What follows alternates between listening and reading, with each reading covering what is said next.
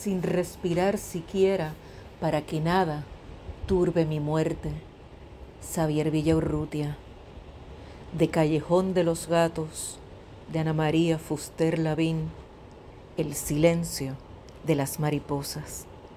La niebla y esta estación abandonada son mi nuevo hogar. Partió el último tren hace algunas semanas, quizás más tiempo. Tampoco he vuelto a encontrarme con ningún otro humano. Solo permanecemos aquí mi silueta, por llamar de alguna manera lo que me ocurre, pues siento que poco a poco me difumino.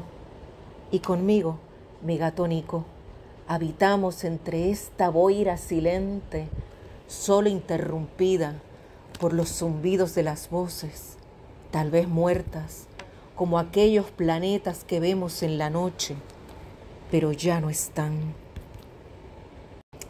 Ay, no recuerdo cuando desayuné por última vez. En espirales despertamos, deambulamos, observamos y dormimos. En ocasiones escribo mientras Nico juega con bolitas de papel y hojas o persiga las palomas y mariposas que aparecen. Y luego nos volvemos a dormir. Ay, cada vez tengo más sueño. Lo que más disfruto es despertar sobresaltada por las caricias de los bigotes de Nico o sus pequeños empujones con su frente. Sospecho que lo hace para averiguar si aún respiro o para que despierte y lo acompañe hasta el umbral donde todo termina. No exagero. Es como si el mundo, el nuestro, finalizara en una inmensa nada grisácea que temo atravesar. Nico tampoco lo hace. Cada día esa ruta se extiende algún paso más. Según transcurren los días, aumenta la cantidad de mariposas que silentes nos acompañan guiándonos hacia ese camino. De vez en cuando agito mis manos y observo cómo desaparecen temporalmente con cada aleteo. Este ritual es breve, pero termina asustando a Nico, que maulla preocupado, y detengo mi juego.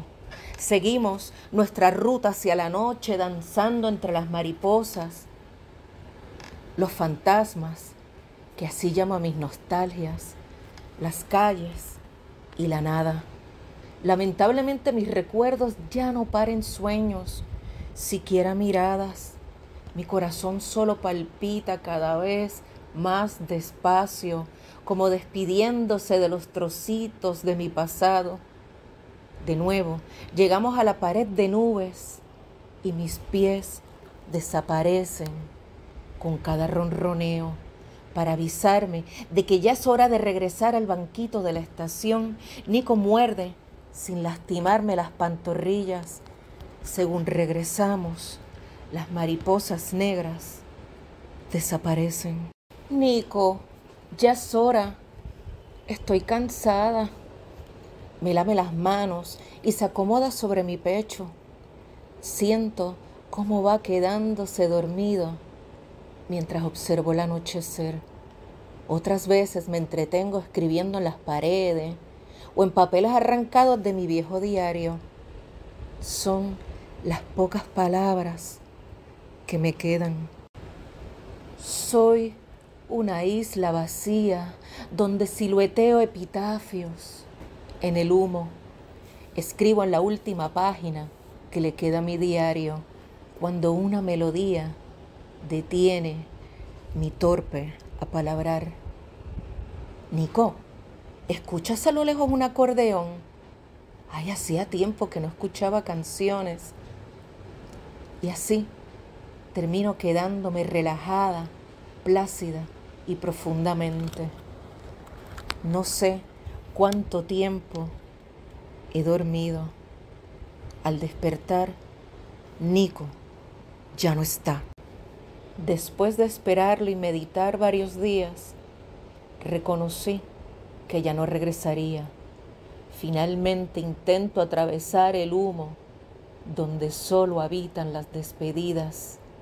Según atravieso el aleteo, es más fuerte, tanto que mis cabellos danzan en el aire que impulsa. Una mariposa se posa sobre mi pecho. Poco a poco decenas, cientos, miles de ellas van recostándose sobre mi cuerpo.